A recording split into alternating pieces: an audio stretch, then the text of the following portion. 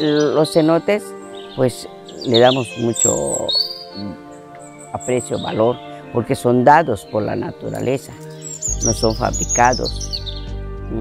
Entonces lo cuidamos. Aquí nacimos, aquí andamos y somos parte de la naturaleza. La obra del tren Maya se van a hacer alejados de los cenotes, van a estar en las áreas elevadas.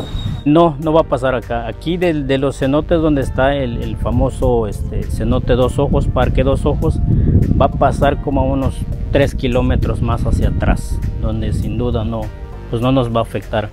Lejos de donde nosotros estamos, donde va a pasar el tren, no va a pasar encima de los cenotes para que nos dañe. Tenemos de elegido que son cenotes muy importantes.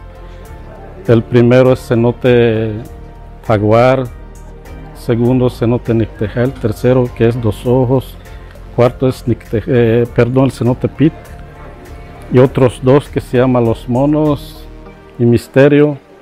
Entonces el trazo quedó atrás de esos cenotes.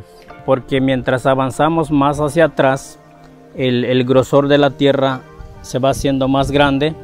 Es el área más rocosa, el área más alta de nuestro ejido y que no está cerca de, los cenotes. Hemos notado que las dependencias hacen los estudios del suelo, hacen los estudios de la flora y fauna del lugar, están haciendo los estudios de la selva del medio ambiente y no hay tal ecocidio como se dice.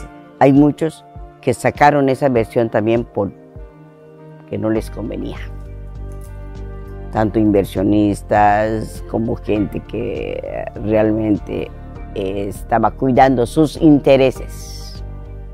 Políticos, gente, gente de dinero, ¿no? que, que, que este, ambientalistas que, que, los contratan, algunos políticos y todo eso, para, para, para dar un mal informe. Es que ellos no están en el lugar, no viven en el lugar.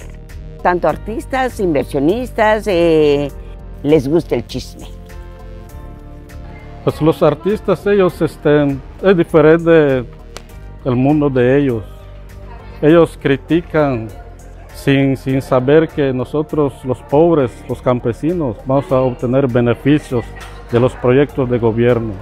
Es solamente una publicidad engañosa y aprovechando de que son gente de gran talla, que tienen muchos admiradores, hagan creer lo que ellos dicen. Y la verdad aquí es otra a la gente, al, país y a todo el mundo de que pues se entere de que aquí pues fue un acuerdo con todos los ejidatarios. Tenemos aquí en el ejido gente con mucha preparación, ingenieros, arquitectos, abogados, y llegamos, y la gente del campo, que es la gente que se adentra más en él, y llegamos a un estudio y un análisis de ver hacia dónde podría sí ser viable y que no nos afectaba y que está a kilómetros retirado del área natural, de las áreas naturales que son los cenotes.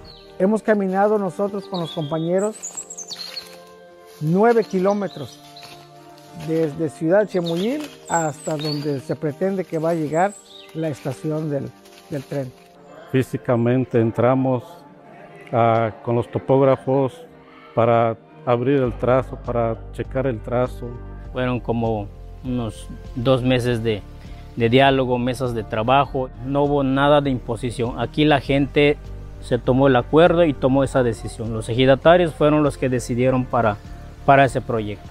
No nos negamos a que eh, eh, eh, haya un tren porque se está beneficiando el, el pueblo a mí me da mucho gusto y satisfacción de saber que es una empresa netamente de los mexicanos, de nosotros, que los recursos que genere, que lo que vaya a conllevar el desarrollo es de la nación, es de nosotros. Que seamos los, los primeros que vamos a ver que pase el tren por acá y viajemos en ello.